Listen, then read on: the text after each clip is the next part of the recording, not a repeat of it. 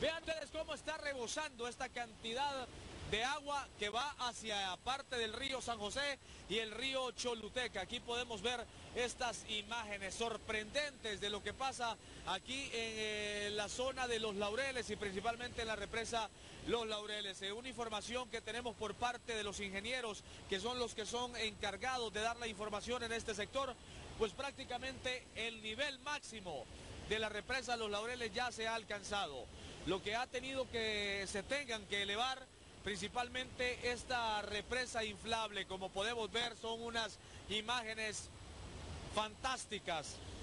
lo que nuestros televidentes están viendo a esta hora de la mañana. Esto es lo que pasa aquí en el sector de la represa Los Laureles, donde pues prácticamente los niveles ya se encuentran al máximo. Y vean ustedes esta cantidad de agua, como decimos popularmente, que se desperdicia